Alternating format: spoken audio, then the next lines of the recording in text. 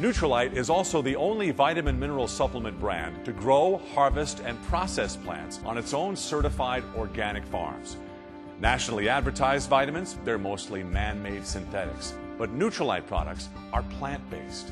And what is the best source of plant nutrients? An organic farm. If you were to think of conventional agriculture versus organic agriculture, you're really thinking of two different types of energy. If in a conventional system, there's a chemical energy, man made. In organics, we're taking a natural energy from the soil, creating natural energy in a plant. So it's much more beneficial for us. Here in Trout Lake, we're blessed with this mountain behind us. Because on that mountain up there, those glaciers are grinding the rock underneath them into fine, fine soluble powders. And they get into the water. When we irrigate, we throw all those glacial silts out onto our fields. When we harvest a crop, we take something away.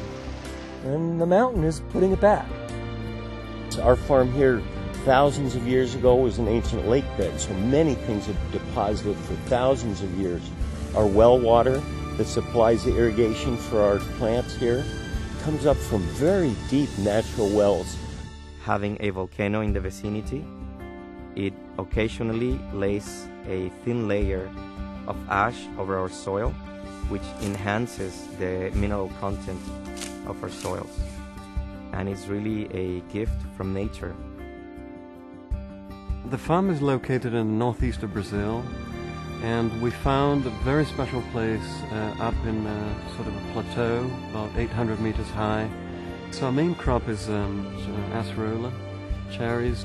We harvest the fruit green because that's where the, the vitamin C uh, reaches a peak, which is very high. It's at about 25 times uh, more vitamin C than an orange.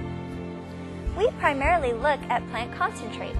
Our responsibility is making sure that what you see here in its natural form turns into something nutritious in a finished tablet. And that concentrate is the key ingredient.